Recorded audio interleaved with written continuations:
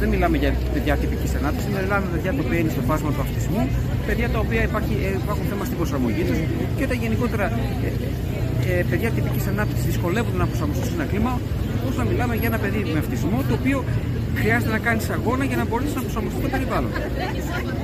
Ευχαριστώ. Εδώ η ευθύνη συγκεκριμένη. Πρέπει το Υπουργείο να δώσει λύση για τα παιδιά. Είναι δικαίωμα των παιδιών. Είναι δικαίωμα των γονιών, είναι δικαίωμα και υποχρέωση της κοινωνίας. Θεωρώ αδιανόητο το ότι εδώ και δύο χρόνια συζητάμε για το πώς μια βιοτεχνία μπορεί να φιλοξενήσει παιδιά με ειδικές ανάγκες. Τα παιδιά αυτά πρέπει να έχουν τα καλύτερα σχολεία. Και μάλιστα εδώ στην περιοχή μας, και το ξέρω πάρα πολύ καλά αυτό, υπάρχουν δήμοι που έχουν δώσει εκτάσεις για να γίνουν ειδικά σχολεία. Είναι τραγικό αυτό που σου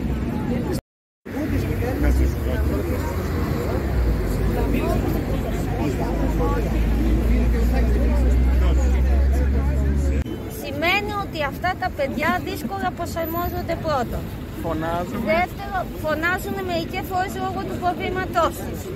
Θέλουν ένα σχολείο με έξοδος κινδύνους, με λάμπες, με σταθερούς δασκάλους, με οριγοτεχνήματα, με προσωπικό πάντα βοηθητικό.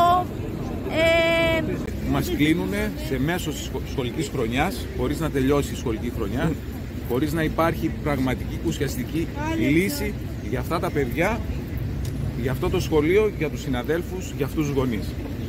Πραγματικά είναι λυπηρό παιδιά μας έχουν πάθει πανικό, οι οικογένειές τους το ίδιο.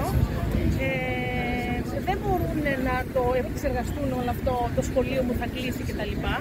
Ε, αυτό που μας στέλνουν σε άλλα σχολεία, τον διαμοιρασμό αυτό, μας στέλνουν σε σχολεία ακατάλληλα, που δεν μπορούν, και ειδικά όλα τα παιδιά, αλλά και κυρίως αυτά που είναι σε αμαξίδια, που δεν χωράνε να πάνε στα άλλα τα σχολεία, με αποτέλεσμα εμείς οι γονείς τώρα να σκεφτόμαστε να τα κρατήσουμε στο σπίτι μέχρι να βρούμε λύση και αυτό είναι δηλαδή, ε, αντί να πάμε μπροστά, πάμε πίσω.